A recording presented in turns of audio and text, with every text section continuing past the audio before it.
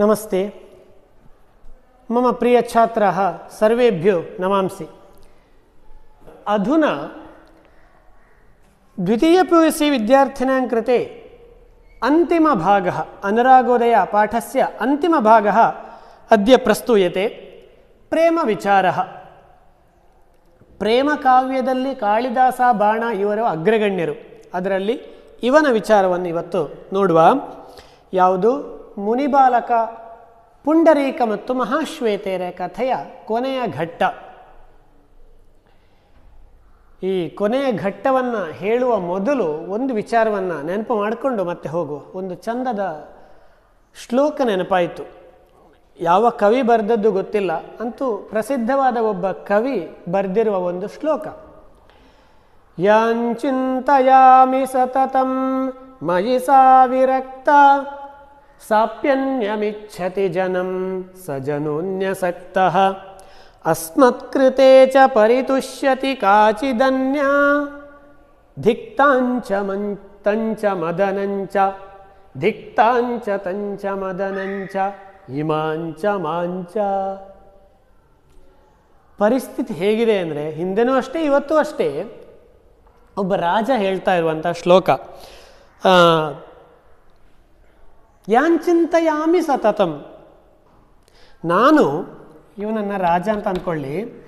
ಯಾಂಚಿಂತಯಾಮಿ ಸತತಂ. ನಾನು ಯಾರನ್ನು ಪ್ರತಿನಿತ್ಯ ಚಿಂತೆ ಮಾಡ್ತಾ ಇದ್ದೇನು? ಅಂದರೆ ಅವನ ಪ್ರಿಯತಮೆ. ರಾಜ ಒಬ್ಬ, ಒಬ್ಬಳ ಒಂದು ಹುಡುಗಿಯನ್ನು ಪ್ರೀತಿಸ್ತಾ ಇದ್ದಾನೆ. ಹುಡುಗಿ. ಆಯ್ತಾ? ಇವನು, ಈ ರಾಜ ಇವಳಿಗೆ ಒಂದು ಗಿಫ್ಟ್ ಕೊಡ್ತಾನೆ. ಒಂದು ಗಿಫ್ಟ್ ಪ್ರಿಯತಮಗೆ ಕಾರಣ ಬೇಕು. ಗಿಫ್ಟ್ ಕೊಡಲಿಕ್ಕೆ ಒಂದು ಗಿಫ್ಟ್ ಕೊಡ್ತಾನೆ. ಯಾಂಚಿಂತಯಾಮಿ ಸತತಂ. ಮೈ ಸಾ ವಿರಕ್ತ ಅವನಿಂದ ವಿರಕ್ತರಾಗಿದ್ದಾಳೆ ಅವಳಿಗೆ ಗಿಫ್ಟ್ ಕೊಡ್ತಾನೆ. ಸಾಪ್ಯನ್ಯಮಿಚ್ಛತಿ ಜನಂ ಸ್ವಜನೋನ್ಯ ಸಕ್ತಃ. ಆ ಗಿಫ್ಟನ್ನು ಇವಳೆಂತ ಮಾಡ್ತಾಳೆ? ಅವಳ ಪ್ರಿಯತಮೆಗೆ ಕೊಡ್ತಾನೆ. ಇವಳು ಇವನನ್ನು ಪ್ರೀತಿಸ್ತಾ ಇಲ್ಲ. ಇವಳು ಇವನ, ಇವನಿಗೆ ಈ ಹುಡುಗಿ, ಈ ರಾಜನ ಪ್ರಿಯತಮೆ ಇವಳಿಗೆ ಆ ಗಿಫ್ಟನ್ನು ಕೊಡ್ತಾಳೆ. ಇವನಿಗೆ, ಸಾಪ್ಯನ್ಯಮಿಚ್ಛತಿ ಜನಂ ಸ್ವಜನೋನ್ಯಸಕ್ತ. ಇವನು ಕೂಡ ಪ್ರಾಂಪ್ಟ್ ಅಲ್ಲ. ಇವನೇನು ಮಾಡ್ತಾನೆ? ಇವನು ಅವನ ಪ್ರಿಯತಮೆಗೆ ಕೊಡ್ತಾನೆ. ಯಾರೂ ಕೂಡ ಸಾಚರಲ್ಲ. ಪ್ರೀತಿ ಮಾಡ್ತಾರೆ ಅಂತ ಅಂದ್ಕೊಂಡಿರ್ತಾರೆ ನೀವು, ಆದರೆ ಅವರು ನಿಮ್ಮನ್ನು ಪ್ರೀತಿ ಮಾಡ್ತಾರೆ ಅಂತ ಯಾವ ಐದು ಪೈಸೆಗೂ ನಂಬಬೇಡಿ ಇವನು ಇವಳಿಗೆ ಕೊಡ್ತಾನೆ ಆ ಗಿಫ್ಟನ್ನು ಎಲ್ಲಿಗೋಯ್ತು ಇಲ್ಲಿಂದ ಹೀಗೆ ಪ್ರೀತಿಸ್ತಾ ಇದ್ದಾರೆ. ಆದರೆ ಇವಳಿದ್ದಾಳಲ್ಲ, ಈ ಹುಡುಗಿ ಇವಳು ಇವನನ್ನು ಪ್ರೀತಿ ಮಾಡ್ತಾನೆ, ರಾಜನನ್ನು. ಇವಳು ರಾಜನನ್ನು ಪ್ರೀತಿ ಮಾಡ್ತಾನೆ ಮಾಡ್ತಾಳೆ. ಏನಾಯಿತು? ಆ ಗಿಫ್ಟನ್ನು ಇವಳು ತಂದು ಅದೇ ರಾಜನಿಗೆ ಕೊಡ್ತಾಳೆ ಗಿಫ್ಟ್ ಕೊಡೋದು. ಪ್ರಿಯತಮೆ ಪ್ರಿಯತಮನಿಗೆ ಗಿಫ್ಟ್ ಕೊಡೋದು. ಆವಾಗ ಬೇಜಾರಾಗೋಯ್ತು ರಾಜನಿಗೆ, ಈ ಜಗತ್ತೇ ಹೀಗೆ ಇದೆಯಾ ಅಂತ ಅಂದ್ಕೊಳ್ತಾನೆ ಪ್ರೀತಿಯ ವಿಷಯದಲ್ಲಿ. ಯಾರನ್ನೂ ಕೂಡ ನಂಬಲಿಕ್ಕೆ ಸಾಧ್ಯ ಇಲ್ಲ. ಪ್ರೀತಿಸ್ತಾರಂತ ನಾವು ಅಂದ್ಕೊಳ್ತೇವೆ ಆದರೆ ಅವರ ಪ್ರೀತಿ ಇನ್ನೆಲ್ಲೋ ಇರುತ್ತೆ. ಯಾಂಚಿಂತಯಾಮಿ ಸತತಂ ಮೈ ಸಾ ವಿರಕ್ತ ನನ್ನಿಂದ ವಿರಕ್ತಳಾಗಿ ಹೋಗಿದ್ದಾಳೆ ನನ್ನ ಪ್ರಿಯತಮೆ. ನಾನು ಅವಳನ್ನೇ ಚಿಂತೆ ಮಾಡ್ತಾ ಇದ್ದಾನೆ. ಸಾಪ್ಯನ್ಯಮಿಚ್ಛತೆ ಜನಂ ಸ್ವಜನೋನ್ಯಸಕ್ತ. ಅವಳು ಇನ್ನಾರನ್ನೂ ಪ್ರೀತಿ ಮಾಡ್ತಾ ಇದ್ದಾರೆ ಇದ್ದಾಳೆ. ಆ ಪ್ರಿಯಕರ, ಅವಳ ಪ್ರಿಯಕರ ಇನ್ಯಾರನ್ನು ಪ್ರೀತಿ ಮಾಡ್ತಾ ಇದ್ದಾಳೆ. ಮತ್ತೊಬ್ಬಳನ್ನು. ಆದರೆ ಅವಳಿದ್ದಾಳಲ್ಲ, ಇವಳು. ಇವಳು ರಾಜನನ್ನು ಪ್ರೀತಿಸ್ತಾ ಇದ್ದಾಳೆ. ಅಸ್ಮತ್ಕೃತೆ ಚ ಪರಿತುಷ್ಯತಿ ಕಾಚಿದನ್ಯ. ಅಸ್ಮತ್ಕೃತೆ ಚ ಪರಿತುಷ್ಯತಿ ಕಾಚಿದನ್ಯ ಇನ್ಯಾರನ್ನು ಸಂತೋಷಗೊಳಿಸ್ಲಿಕ್ಕಾಗಿ ಜೀವನ ಮಾಡಿ, ದಿಕ್ತಾಂಚ ತಂಚ, ಮದನಂಚ ಇಮಾಂಚ ಮಾಂಚ, ದಿಕ್ತಾಂಚ ತಂಚ, ಮದನಂಚ ಇಮಾಂಚ ಮಾಂಚ. ಇವರು ಎಲ್ಲರಿಗೂ ಧಿಕ್ಕಾರವಿರಲಿ, ನನಗೂ ಧಿಕ್ಕಾರಿರಲಿ ಮಾಂಚ, ನನಗೂ ಧಿಕ್ಕಾರವಿರಲಿ. ಯಾರೂ ಕೂಡ ಪ್ರಾಮಾಣಿಕರಾಗಿಲ್ಲ ಈ ವಿಷಯದಲ್ಲಿ. ಹಾಗಾಗಿ ಎಲ್ಲರಿಗೂ ಧಿಕ್ಕಾರ ಇರಲಿ ಅಂತ ಒಂದು ಸುಭಾಷಿತವನ್ನು ಶ್ಲೋಕವನ್ನು ಹೇಳಿದ್ದಷ್ಟೆ. ಹಾಗಾಗಿ ಅದು ಹಾಗೆ. ತದಾ ಸಹ ಕಿಂಚಿದ ಉಪ, ಉಪಜಾತಲಜ್ಜ ಇವ ಪ್ರತ್ಯವಾದಯಿತು ಕೊನೆಯ paragraph page number fifty one ನೋಡ್ಕೊಳ್ಳಿ. ತದಾ ಸಹ ಆಗ ಪುಂಡರೀಕ ನಾಚಿಕೆಯಿಂದ ಇವ ಪ್ರತ್ಯವಾದ ನಾಚಿಕೆಯಿಂದ ಹೇಳ್ತಾನೆ. ಯಾವಾಗ? ಪುಂಡರೀಕನ ಜೊತೆಗೆ ಒಬ್ಬ ಕಪಿಂಜಲ ಅಂತ ಇರ್ತಾನೆ, ಅವನು ಪುಂಡರೀಕನಿಗೆ ಹೇಳ್ತಾನೆ, ಧೈರ್ಯಧನಾಹಿ ಸಾಧವ, ಸಾಧುಗಳಾದವರು ಧೈ, ಧೈರ್ಯವನ್ನು ಕಳ್ಕೊಳ್ಳೋದೇ ಒಳ್ಳೆಯದಲ್ಲ ಹಾಗಾಗಿ, ನಿನ್ನ ಹೃದಯವನ್ನು ಕದ್ದುಕೊಂಡವಳು ಹೋಗ್ತಾ ಇದ್ದಾಳೆ ಅಲ್ಲಿ ಮಹಾಶ್ವೇತ. ನಿನ್ನ ಮನಸ್ಸು ಹೃದಯ ಎಲ್ಲಿದೆ? ಅವಳ ಒಳಗೆ ಸೇರಿ ಹೋಗಿದೆ. ಹಾಗಾಗಿ, ಆ ನಿನ್ನ ಹೃದಯವನ್ನು ತಗೊಂಡು ಬಾ. ಸಖೆ ಕಪಿಂಜಲ, ಕಿಂ ಮಾಂ, ಅನ್ಯಥಾ ಸಂಭಾವಯಿಸಿ. ಆದರೆ ಕಪಿಂಜಲನಿಗೆ ಹೇಳ್ತಾನೆ, ಪುಂಡರೀಕ, ನನ್ನನ್ನು ಅಷ್ಟು ಸಣ್ಣವನನ್ನಾಗಿ ಮಾಡಬೇಡ. ಆ ಥರ ಎಲ್ಲ ತಿಳ್ಕೊಳ್ಬೇಡ ನನ್ನನ್ನು. ಇತ್ಯಭಿದಾಯ ಎಂದು ಹೇಳಿ ಅಲೀಕ ಕೋಪ ಕಾಂತೇನ ಪ್ರಯತ್ನ ವಿರಚಿತ. ಅಲೀಕ ಕೋಪ ಕಾಂತೇನ. ಪ್ರಿಯತಮ ಮತ್ತು ಪ್ರಿಯತಮ. ಪ್ರೀತಿ ಮಾಡಿದವರಿಗೆ ಗೊತ್ತಿರ್ಬೋದು. ಸುಳ್ಳು ಕೋಪ, ಅಲೀಕ ಕೋಪ ಅಂತ. ಸುಮ್ಮನೆ ಕ್ರಿಯೇಟ್ ಮಾಡ್ಕೊಳ್ಳೋದು ಕೋಪ. ಕೋಪ ಮಾಡಿದರೆ ಪ್ರೀತಿ ಜಾಸ್ತಿ ಆಗುದಂತೆ. ಕಾಂತೇನ ಪ್ರಯತ್ನ ವಿರಚಿತ ಭೀಷಣ ಭ್ರುಕುಟಿ ಭೂಷಣೇನ, ಭೀಕರವಾದಂತಹ ಭ್ರುಕುಟಿ ಭೂಷಣೇನ ಹುಬ್ಬಿ ಗಂಟಿಕ್ಕಿಕೊಂಡು ಅವರಿಗೆ ಕೋಪ ಬಂದರೆ ಅವರು ಮತ್ತು ಚಂದ ಕಾಣೋದು. ಪ್ರೇಮಿಗಳಿಗೆ ಹಾಗೆ ಅಂತೆ. ಪರಸ್ಪರ ಕೋಪ ಮಾಡಿಕೊಂಡ್ರೆ ಅವರ ಸೌಂದರ್ಯ ಮತ್ತು ಜಾಸ್ತಿ ಜಾಸ್ತಿ ಆಗೋದಂತೆ. ಹುಬ್ಬು ಗಂಟಿಕ್ಕಿಕೊಂಡ್ರೆ ಚಂದ ಕಾಣೋದಂತೆ. ಸ್ಫುರಿತಾಧರೇಣ ಕಂಪಿತ ಅಧರ ತುಟಿಗಳಿಂದಾಗಿ ಮುಖೇಂದುನ ಚಂದ್ರದಂತಹ ಮುಖದಿಂದ ಮುಖ, ಮುಖದಿಂದ ಮುಖರಂಜನಾದ ಮಾಮ ವದತ್ ನನ್ನನ್ನು ಹೇಳಿದ. ಅಂತಹ ಮುಖ ಇತ್ತು ಅವನಲ್ಲಿ. ಅಂತಹ ಪುಂಡರೀಕ ಸುಂದರಾಂಗ ನನಗೆ ಹೇಳಿದ ಅಂತ ಮಹಾಶ್ವೇತ ಹೇಳುವಂಥದ್ದು. ಚಪಲೆ, ಅವನು ಹೇಳ್ತಾನೆ ಈ ಚಪಲೆ, ಚಪಲವಂತೆಯೇ. ಪ್ರದೇಶಾತ್ ಅಸ್ಮಾತ್ ಇಮಾಂ ಅಕ್ಷಮಾಲಾಂ ಆದತ್ವ. ಈ ಪ್ರದೇಶದಿಂದ ಹೋಗ್ಬೇಕ ನೀನು? ಚಪಲೆ, ಅಕ್ಷಮಾಲಾಂ ಆದತ್ವ, ಅದತ್ವ, ಕೊಡದೆ ಅದತ್ವ. ದತ್ವ ಅಂದರೆ ಕೊಟ್ಟು. ಪದಾತ್, ಪದಮಪಿ, ಒಂದು ಹೆಜ್ಜೆ ಕೂಡ, ಪದಾತ್ ಪದಮಪಿ, ಒಂದು ಹೆಜ್ಜೆ ಕೂಡ. ನಾಗಂತವ್ಯಂ ಹೋಗಲೇಬಾರದು. ನನ್ನ ಅಕ್ಷಮಾಲೆಯನ್ನು, ಜಪಮಾಲೆಯನ್ನು ಕೊಡು ನೀನು. ತಚ್ಚ ಶುತ್ವ ಅಹಂ, ಆತ್ಮಕಂಠಾದುನ್ಮುಚ್ಯ, ಏಕಾವಲಿಂ. ಮುತ್ತಿನ ಮಾಲೆಯನ್ನು ಶುತ್ವ ಆತ್ಮಕಂಠಾದುನ್ಮುಚ್ಯ. ಭಗವನ್ ಏಕಾವಲಿಂ. ಆಗ ಅಕ್ಷಮಾಲೆ ಹಾಕ್ಕೊಂಡದ್ದು ವಾಪಸ್ ಈಗ ಮುತ್ತಿನ ಹಾರ ಇತ್ತು ಅವಳ ಕುತ್ತಿಗೆಯಲ್ಲಿ. ಏಕಾವಲಿ ಮುತ್ತಿನ ಹಾರವನ್ನು ತೆಗೆದ್ಲು. ಅವನಿಗೆ ಗೊತ್ತಿಲ್ಲ, ಮಾಲೆ ತೆಗೆಯುವುದಷ್ಟೇ. ಯಾಕೆಂದರೆ ಪ್ರಜ್ಞೆ ಇಲ್ಲ ಇವಾಗ, ಕಾಮವಶನಾಗಿದ್ದಾನೆ. ಆತ್ಮಕಂಠಾದುನ್ಮುಚ್ಚ ಏಕಾವಲಿಂ ಭಗವನ್, ಹೇ ಭಗವಂತನೇ, ಗೃಹ್ಯತಾಮಕ್ಷಮಾಲ. ಮುತ್ತಿನ ಹಾರವನ್ನು ಕೈಯಲ್ಲಿ ತಗೊಂಡು, ಗೃಹ್ಯತಾಮಕ್ಷಮಾಲ, ತಗೋ ನಿನ್ನ ಅಕ್ಷಮಾಲೆಯನ್ನು, ಜಪಮಾಲೆಯನ್ನು ಅಂತ ಕೊಡ್ತಾಳೆ. ವಿಷಯ ಗೊತ್ತೇ ಇಲ್ಲ ಎಕ್ಸ್ಚೇಂಜ್ ಆದದ್ದು. ಅವನ ಮಾಲೆ ಇವಳಲ್ಲಿದೆ, ಇವಳ ಮಾಲೆ ಅವನ ಕೈಗೆ ಹೋಗ್ತಾ ಇದೆ. ಇತಿ ಮನ್ಮುಖಾಸಕ್ತ ದೃಷ್ಟೇಹೇ. ಮನ್ಮುಸ ಮನ್ಮುಖಾಸಕ್ತ ದೃಷ್ಟೇ ಯಾಕಂದರೆ ಮನಸ್ಸು, ದೃಷ್ಟಿ, ಆಸಕ್ತಿಯಲ್ಲಿ ಅಂದರೆ ಅವಳ ಮುಖವನ್ನು ನೋಡೋದರಲ್ಲಿ. ಮನ್ಮುಖಾಸಕ್ತ ದೃಷ್ಟೇಹೇ. ಕೈಯಲ್ಲಿ ಏನೋ ಒಂದು ಪಾಸಾಯಿತು, ದೃಷ್ಟಿ, ಗಮನ ಮುಖದಲ್ಲಿ ಇದೆ. ಶೂನ್ಯ ಹೃದಯಸ್ಯಾಸ್ಯ ಪ್ರಸರಿ, ಪ್ರಸಾರಿತಿ. ಖಾಲಿ ಹೃದಯದವನಾದ. ಪ್ರಿಯತಮೆ ಅಲ್ಲಿಂದ ಹೋಗ್ತಾ ಇದ್ದಾಳೆ. ಇಷ್ಟು ಹೊತ್ತು ಕಳೆದ ಕಾಲ ಗೋಲ್ಡನ್ ಟೈಮ್ ಆ ತರಹ ಇಬ್ಬರು ಕೂಡ, ಆದರೆ ಇವಾಗ ಪ್ರಿಯತಮೆ ಹೋಗ್ತಾ ಇದ್ದಾಳೆ ಇಲ್ಲಿಂದ, ಅಕ್ಷಮಾಲೆಯನ್ನು ಕೊಟ್ಟು ಇಲ್ಲಿಂದ ಶೂನ್ಯ ಹೃದಯ, ಯಾವುದೋ ಒಂಥರ ಖಾಲಿ ಖಾಲಿಯಾಗುವಂಥದ್ದು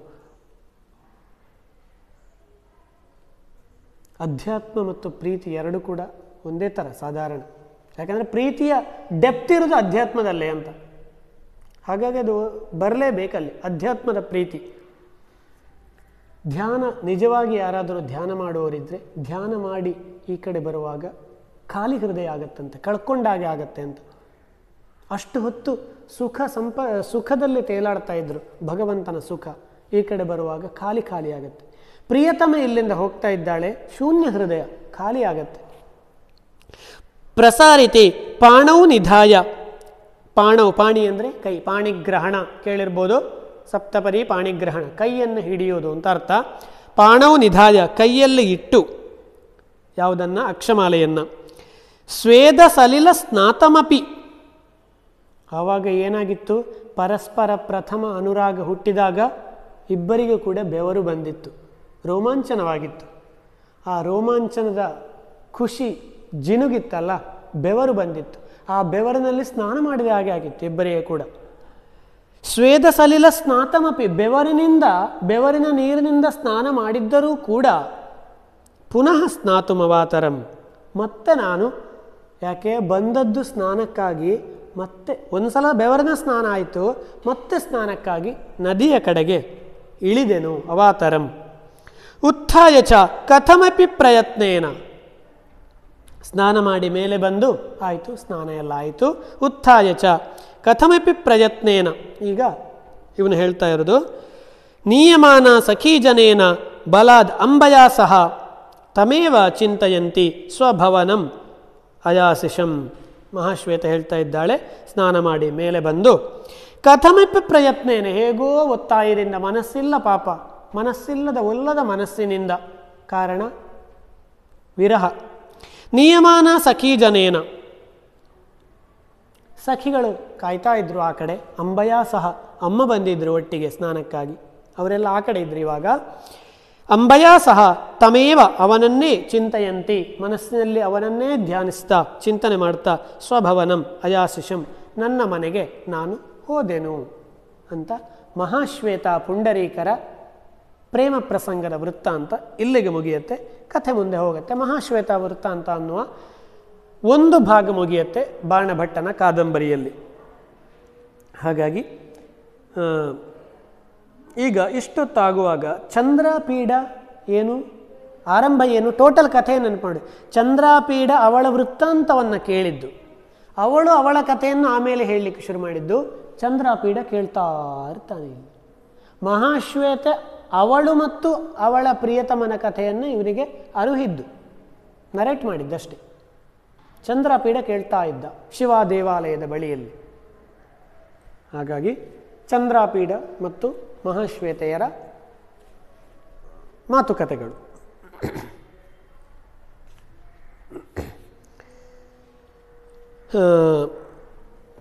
ಇನ್ನೊಂದು ವಿಷಯ ಇಲ್ಲಿ ಹೇಳಬೇಕು ನಿಮಗೆ.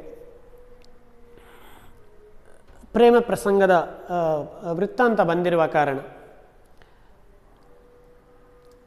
ನಮ್ಮ ಜೀವನ ಒಂದು ಎರಡು ನಿಮಿಷದಲ್ಲಿ ಮುಗಿಸಿಬಿಡ್ತೇನೆ.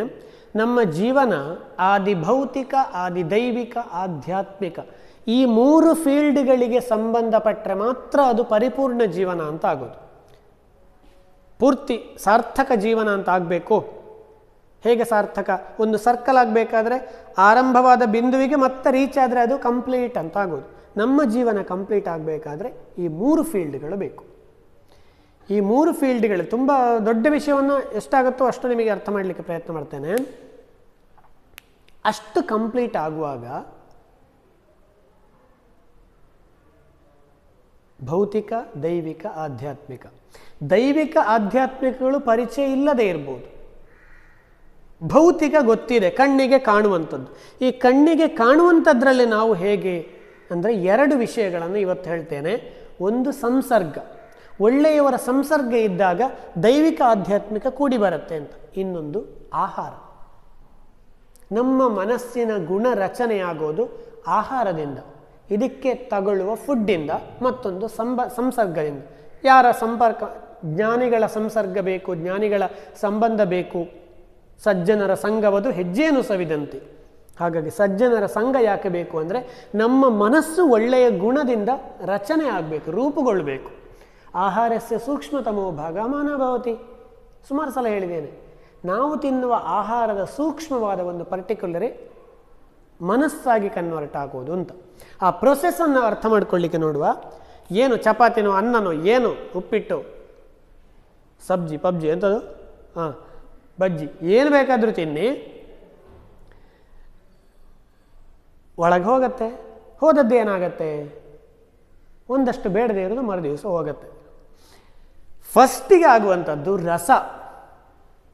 ರಸ, ರಕ್ತ, ಮಾಂಸ, ಮೇಧೋ, ಅಸ್ಥಿ, ಮಜ್ಜ ಇತಿ ಶುಕ್ರ ಸಪ್ ಸಪ್ ಸಪ್ತಧಾತವ ಏಳು ಧಾತುಗಳಿದೆ ರಸವಾಗಿ ಆಗತ್ತೆ.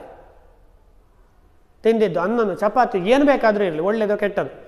ರಸವಾಗಿ ಕನ್ವರ್ಟ್ ಆಗುತ್ತೆ. ರಸ ರಕ್ತ, ರಕ್ತವಾಗುತ್ತೆ. ತಿಂದದ್ದದ್ದೇ ಒಂದು ಬೇರೆ ಪರ್ಟಿಕ್ಯುಲರ್ ಪರ್ಟಿಕಲ್ ಸ್ಮಾಲ್ ಪರ್ಟಿಕಲ್ ಅಲ್ಲಿ ರಕ್ತವಾಗಿ ಆಗೋದು. ಮಾಂಸ, ಮೂರನೇ ಭಾಗ ತಿಂದದ್ದೇ ಮಾಂಸವಾಗುತ್ತೆ. ಸ ಮೇಧ ಮಾಂಸದಲ್ಲೊಂದು ಕೊಬ್ಬಿದೆಯಲ್ಲ, ಅದು ಮೇಧ ಅಸ್ಥಿ, ಮೂಳೆ ಆಗತ್ತೆ. ಮೂಳೆ ಹೇಗೆ? ಇಷ್ಟು ಸಣ್ಣ ಬಾಲಕ ಇದ್ದದ್ದು, ಇಷ್ಟು ದೊಡ್ಡ ಮೂಳೆಯಾಗಿ ಬೆಳೆದದ್ದು ಹೇಗೆ ನೀವು? ತಿಂದ ಆಹಾರ, ಮಜ್ಜ. ಮೂಳೆಯ ಒಳಗಡೆ ಒಂದಿದೆ ಅಂಶ, ಅದು ಮಜ್ಜ. ಶುಕ್ರ, ಇನ್ನೊಂದು ರಸ ರಕ್ತ ಮಾಂಸ ಮೇಧೋ ಇದು ಶುಕ್ರ ಧಾತು. ಏಳು ಧಾತುಗಳಾಯಿತು. ಏಳನೆಯ ಧಾತು ಶುಕ್ರ ಅಂತ. ನಮ್ಮ ಹುಟ್ಟಿಗೆ ಕಾರಣವಾದ ಯಾವ ಒಂದು ಡಾಟ್ ಇದೆಯಲ್ಲ ಅದನ್ನು ನಾವು ಶುಕ್ರ ಧಾತು ಅಂತ ಹೇಳ್ತೇವೆ. ಆ minute speck of sperm. Entering to ovum ಅದರ ಒಳಗಡೆ ಹೋಗುವಂಥ ಯಾವ ಒಂದು ಡಾಟ್ ಇದೆ, ಅದರ ಗುಣ ಅದರಲ್ಲೇ ನಮ್ಮ ಅಷ್ಟೂ ಅಸ್ತಿತ್ವ ಇದೆ. ನೀವು ನೋಡ್ಬೋದು, ನಿಮಗೆ ನಿಮ್ಮ ಸೋದರ ಮಾವನ ಲಕ್ಷಣನೋ, ನಿಮ್ಮ ಅಜ್ಜನ ಲಕ್ಷಣನೋ, ಚಿಕ್ಕಪ್ಪನ ಲಕ್ಷಣನೋ ಏನೋ ಇರ್ಬೋದು, ಅಂತೂ ರಕ್ತ ಸಂಬಂಧದಲ್ಲಿ ಬಂದಿರುವ ಹೊರಗಡೆಯ ಹಾವಭಾವ ಫೇಸ್ ಮೂಗು, ಉದ್ದ, ಇದು ಅಷ್ಟೇ ಅಲ್ಲ, ಗುಣಗಳು, ಅವರು ಮಾತನಾಡುವ ಶೈಲಿ. ಎಲ್ಲದು ಯಾರ್ಯಾರದ್ದೋ ಬರುತ್ತೆ ಅಂದರೆ ಅದು ಎಲ್ಲಿತ್ತು? ಈ ಒಂದು ಡಾಟಲ್ಲಿ ಇತ್ತು ಅವರಿಗೆ ತೊಂಬತ್ತು ವರ್ಷ ಆಗುವಾಗ ಶುಗರ್ ಬಂದಿರ್ಬೋದು. ಅದರ ಅಂಶ ಕೂಡ ಆ ಒಂದು ಡಾಟಲ್ಲಿ ಇದೆ. ಆ ಸ್ಪಮ್ಮಲ್ಲಿ ಇದೆ. ಹಾಗಾಗಿ ನಾವು ಒಳ್ಳೆಯದಾಗಬೇಕು ಯಾಕಪ್ಪ ಅಂದರೆ ನಮ್ಮ ಮುಂದಿನವರು ಹಾಳಾಗಬಾರ್ದು ಅನ್ನುವ ಕಾರಣಕ್ಕಾಗಿಯೂ ನಾವು ಒಳ್ಳೆಯದಾಗಬೇಕು ನೀವು ಕೆಟ್ಟದ್ದು ತಿಂದರೆ, ನೀವು ಕೆಟ್ಟವರ ಸಂಪರ್ಕ ಮಾಡಿದರೆ, ನಿಮ್ಮಿಂದ ನೆಕ್ಸ್ಟ್ ಬರ್ತಾರಲ್ಲ, ಆ ಜನರೇಷನ್ ಕೂಡ ಅದೇ ಗುಣಗಳನ್ನು ಹೊತ್ತುಕೊಂಡು ಬರುತ್ತೆ ಅಂತ. ಆ ಶುಕ್ರ ಧಾತುವಿನ, ಆ ವೀರ್ಯದವರೆಗೆ ನಮ್ಮ ತನ, ನಮ್ಮ ಗುಣ ಅಲ್ಲಿಗೆ ಸಂಕ್ರಾಂತ ಆಗಿಯೇ ಆಗುತ್ತೆ. ಇವತ್ತು ತಿಂದ ಆಹಾರ ನಾಳೆಗೆ ಆಗುವುದಲ್ಲ ಅದು. ಹಲವಾರು ವರ್ಷಗಳ ಕಾಲ ರೂಪಾಂತರಗೊಂಡು ಆಗಿ ಆಗಿ ಆಗಿ ಆಗಿ ಆಗಿ ಆಗಿ ವೀರ್ಯವಾಗಿ ಕನ್ವರ್ಟ್ ಆಗುತ್ತೆ ಶುಕ್ರಧಾತು ಅಂತ ಹೇಳುತ್ತೆ ಸಂಸ್ಕೃತದಲ್ಲಿ. ಅದರಲ್ಲಿ ನಮ್ಮ ಅಷ್ಟು ಹಿಸ್ಟ್ರಿ ಅದರ ಒಳಗಡೆ ಶೇಖರಣೆ ಆಗಿರುತ್ತೆ. ಅದೇ ಇನ್ನೊಂದು ಹುಟ್ಟಿಗೆ ಕಾರಣವಾಗೋದು. ಹಾಗಾಗಿ ನೀವು ತಪ್ಪು ಮಾಡಿದರೆ ನಿಮಗೆ ಎಂಕದಾಲ ಪುಜ್ಜಿ ಯಾನಿಂಚನೆ ಇಪ್ಪುಣೆ ಎಂಕೆಂದು ಕಂಫರ್ಟ್ ಹಾಪುಂಡು ಅಂತ ಹೇಳಿದರೆ ಅಲ್ಲ. ನಿಮ್ಮ ಮುಂದಿನವರು ಹಾಳಾಗಬೇಕಾ? ಹೇಗೆ ಬೇಕಾದರೂ ಇರಿ. ಚಂದ ಆಗಬೇಕಲ್ಲ. ನಮ್ಮ ಮಕ್ಕಳು ಬಂದಾಗ ಹೀಗಿರಬೇಕು ಅಂತ ಒಂದು ಕಲ್ಪನೆ ಇರುತ್ತೆ. ಅದಕ್ಕಾಗಿ ಆದರೂ ನಾವು ಹಾಗೆ ಆಗಬೇಕು.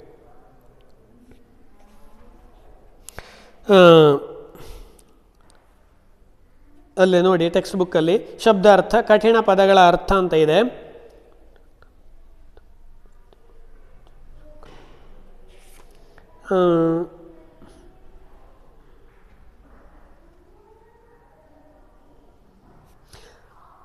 ಅದರಲ್ಲಿ ಹೇಳೋದಾದರೆ ಇನ್ನೂ ಒಂದಷ್ಟು ವಿಚಾರಗಳಿದೆ. ಈ ಒಂದು ಡಾಟ್ ಅಂತ ಹೇಳಿದ್ನಲ್ಲ ಸೈನ್ಸ್ನವರಿಗೆ ಗೊತ್ತಿದೆ. ನಾನೇನು ಹೇಳಿಕೊಡ್ಬೇಕಾಗಿಲ್ಲ ಇದರನ್ನು ನೀವು ಸೂಕ್ಷ್ಮವಾಗಿ ನೋಡಿದರೆ ಹೀಗಿರುತ್ತೆ.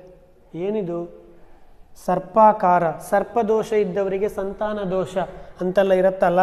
ಏನು? ಆ ಅಂಡಾಣು, ವೀರ್ಯಾಣು ಅಂತ ಇದೆಯಲ್ಲ, ಅದು ಸರ್ಪದ ಆಕಾರದಲ್ಲಿರುತ್ತೆ, ಸರ್ಪದ ತಲೆಯಲ್ಲಿರುತ್ತೆ. ನಮ್ಮ ಬೇನು, ಬೆನ್ನು ಮೂಳೆ ಕೂಡ ಸರ್ಪದ ಹಾಗೆ. ಇಲ್ಲಿ ಹೆಡೆ ಈಗ ಹೋಗಿ ಬಾಲ, ಸರ್ಪದ್ದು ಮೂಲಾಧಾರ ಚಕ್ರ, ಸಪ್ತ ಚಕ್ರಗಳು, ತುಂಬ ತುಂಬ ತುಂಬ ಸೈಂಟಿಫಿಕ್ ಆಗಿರುವಂಥ ವಿಚಾರಗಳು, ದೇಹ ವಿಜ್ಞಾನ. ಲ್ಯಾಬಲ್ಲಿ ಕಾಣೋದಷ್ಟೇ ಅಲ್ಲ. ಬಯಾಲಜಿಯಲ್ಲಿ ಹೇಳೋದಷ್ಟೇ ಅಲ್ಲ, ನಮ್ಮ ಭಾರತೀಯ ಋಷಿಮಹರ್ಷಿಗಳು ಹೇಳಿಕೊಟ್ಟಂತಹ ಭಾರತೀಯ ಪ್ರಾಚೀನ ವಿಜ್ಞಾನ ಇದೆಯಲ್ಲ, ಅದು ನಿಜವಾದ ವಿಜ್ಞಾನ. ಜ್ಞಾನದ ವಿಕಾಸವೇ ವಿಜ್ಞಾನ. ಹಾಗಾಗಿ ವಿಜ್ಞಾನದ ಮೂಲ ಜ್ಞಾನ ಆಗಲೇಬೇಕು. ಜ್ಞಾನ ಅಂದರೆ ಏನೂ ಅಲ್ಲ ಬೇರೆ, ಸಾಕ್ಷಾತ್ ಭಗವಂತ, ಜ್ಞಾನ ಮೂರ್ತಿ. ಅಜ್ಞಾನವನ್ನು ಕಳೆಯುವವನು. ಹಾಗಾಗಿ ಅಂತಹ ಜ್ಞಾನ ಮೂರ್ತಿಯನ್ನು ಕಾಣಬೇಕು ವಿಜ್ಞಾನಿಗಳು. ಅಲ್ಲಿಗೆ ಕಠಿಣ ಪದಗಳ ಅರ್ಥ ಗೊತ್ತಾಯ್ತಲ್ಲ? ಇನ್ನು ಉಳಿದ ವಿಚಾರಗಳನ್ನು ನೋಡಿಯಾಗಿದೆ ಬಾಣಭಟ್ಟನ ಬಗ್ಗೆ. ಏಕವಾಕ್ಯನ ಮತ್ತು ದ್ವಿತ್ರಿವಾಕ್ಯ ಪಾಠನಾಮ ಉಲ್ಲೇಖ್ಯ ಕಹ ಕಂಪ್ರತಿ ಅವದತ್, ಸಂಸ್ಕೃತ ಭಾಷೆಯ ಲಿಖತ. ಅಲ್ಲೆಲ್ಲ ಇದೆ. ದಯವಿಟ್ಟು ಎಲ್ಲರೂ ಕೇವಲ ಗೈಡನ್ನು ರೆಫರ್ ಮಾಡಬೇಡಿ. ವಿಶೇಷವಾಗಿ ಗ್ರಾಮರ್ ಪಾರ್ಟ್, ನಾವು ಏನು ಕಳಿಸ್ತೇವೆ ಎಕ್ಸಸೈಸ್ ಒಂದು ಸಲ ರೀಚೆಕ್ ಮಾಡಿ. ನೋಟ್ಸ್ ಯಾರು ಬರಿತಾ ಇಲ್ವೋ ಅವರು.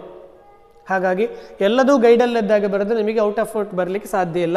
ಇಲ್ಲಿ ಇರೋದು ಅಷ್ಟೇ. ಯಾರು ಯಾರಿಗೆ ಹೇಳಿದರು? ಪಾಠನಾಮ ಉಲ್ಲಿಖ್ಯ. ಒಂದು ಸಲ ನಾವು ಕಳಿಸೋದನ್ನು ರೆಫರ್ ಮಾಡಿ ಅಥವಾ ನೋಟ್ಸ್ ಬರೀರಿ. ನೋಟ್ಸ್ ಬರೆಯುವುದೇ ಬೆಸ್ಟ್ ಮೆಥಡ್ ದಶವಾಕ್ಯ. ರೇಖಾಂಕಿತಾನಿ ಪದಾನಿ. ಗಂಧರ್ವಾಧಿಪತಿ ಹಂಸಃ. ಗಂಧರ್ವಾಧಿಪತಿ ಕಹ ಈ ರೇಖಾಂಕಿತಾನಿ ಪದಾನಿ ಆಶ್ರಿತ್ಯ ಪ್ರಶ್ನೆ ನಿರ್ಮಾಣ ಕುರುತ. ಪ್ರಶ್ನೆ ಮಾಡಲಿಕ್ಕೆ ಹೇಳಿದ್ದಾರೆ. ಪ್ರಶ್ನಾರ್ಥ ಚಿಹ್ನ ಬೇಕೇ ಬೇಕು. ಎಲ್ಲಿ ಕ್ವಶನ್ ಮಾರ್ಕ್ ಹಾಕೋದಿಲ್ವ ನೀವು? ಕ್ವಶನ್ ಮಾಡಲಿಕ್ಕೆ ಹೇಳಿದಾಗ. ಅದು ಕ್ವಶನೇ ಅಲ್ಲ. ಝೀರೋ ಮಾರ್ಕ್ಸ್ ಖಂಡಿತ. ಅಂಬಯ ಸಹ ಸ್ನಾತುಂ ಅಭ್ಯಾಗಮಂ. ಕಯ ಸಹ ಸ್ನಾತುಂ ಅಭ್ಯಾಗಮಂ ಕ್ವಶನ್ ಮಾರ್ಕ್ ಕ್ವಶನ್ ಮಾರ್ಕ್ ಬೇಕು. ಭಗವತಃ ಸುಂದರಂ ರೂಪಮಾಸೀತ್. ಕಸ್ಯ ಸುಂದರಂ ರೂಪಮಾಸೀತ್. ಯಾವುದಕ್ಕೆ ಅಂಡರ್ಲೈನೋ ಅಲ್ಲಿ ಕಸ್ಯ. ಆಮೇಲೆ ಕ್ವಶನ್ ಮಾರ್ಕ್ ಇಷ್ಟು ವಿಷಯಗಳು ಬೇಕು.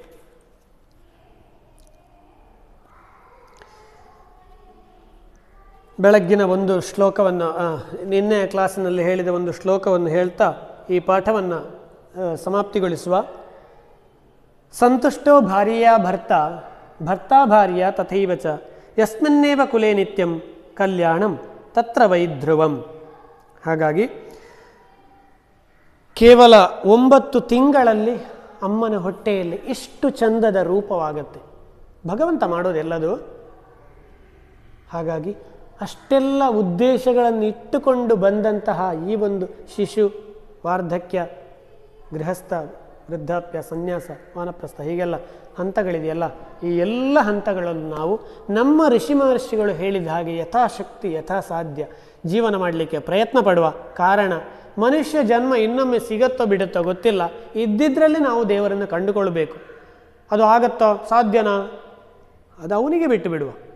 ಕರ್ಮಣ್ಯೇ ವಾದಿಕಾರಸ್ಥೆ ಮಾಫಲೇಶು ಕದಾಚನ. ಫಲ ಹೀಗೇ ಬರಬೇಕು ಅಂತ ನಾವು ಮಾಡಲಿಕ್ಕೆ ಆಗೋದಿಲ್ಲ. ನಾವು ಭತ್ತದ ಬೀಜ ಬಿತ್ತಬಹುದಷ್ಟೇ. ಅದರಲ್ಲಿ ಇಷ್ಟೇ ಅಕ್ಕಿ ಬರಬೇಕು, ಹೀಗೇ ಬರಬೇಕು. ನಮಗೇನು ಮಾಡಲಿಕ್ಕಾಗಲ್ಲ. ಕಳೆ ಕೀಳ್ಬೋದು ಗೊಬ್ಬರ ಹಾಕ್ಬೋದು ಉಳುಮೆ ಮಾಡ್ಬೋದು ಅಷ್ಟೇ ಹಾಗಾಗಿ ನಾವು ಕೆಲಸ ಮಾಡುವ ಫಲವನ್ನು ಅವನು ಕೊಡ್ಬೋದು ಕೊಡ್ತಾನೆ ಖಂಡಿತ. ಪ್ರಾಮಾಣಿಕ ಪ್ರಯತ್ನ ಮಾಡಿ ಸೋತವರು ಯಾರೂ ಇಲ್ಲಂತೆ, ಇವತ್ತಿಗೆ ಕೂಡ. ಹಾಗಾಗಿ ನಂಬಿದವರಿಗೆ ನೆಮ್ಮದಿ ಉಂಟು. ಎಲ್ಲರಿಗೂ ಒಳ್ಳೆಯದಾಗಲಿ. ನಿಜವಾದ ಪ್ರೀತಿಯ ಡೆಪ್ತ್ ಅಧ್ಯಾತ್ಮದಲ್ಲಿ ಇದೆ. ಹಾಗಾಗಿ ಪ್ರೀತಿನೂ ಬೇಕು, ಅಧ್ಯಾತ್ಮನೂ ಬೇಕು, ಯೋಗನೂ ಬೇಕು, ಭೋಗನೂ ಬೇಕು.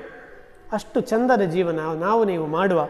ಯಾವುದೇ ಸಮಸ್ಯೆಗಳಿದ್ರೂ ಮೆಸೇಜಿಸಿ ಏನು? ಸಂಕೋಚ ಬೇಡ. ಜೀವನ ಒಳ್ಳೆಯದಾಗಬೇಕು ನಾವು ನೀವು ಒಳ್ಳೆಯದಾಗಬೇಕು ಧನ್ಯವಾದ.